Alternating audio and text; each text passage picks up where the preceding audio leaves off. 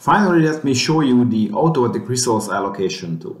In the resource, automatic resource allocation tool, you need to enter uh, a finishing date until you want to do the uh, schedule calculation. In this case, I will enter uh, 24th of October and I will press OK.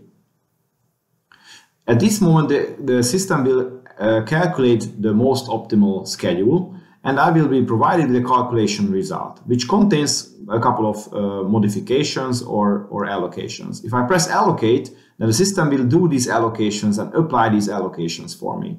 Now let's switch back to Dime and you can see the result that now the allocation will be modified.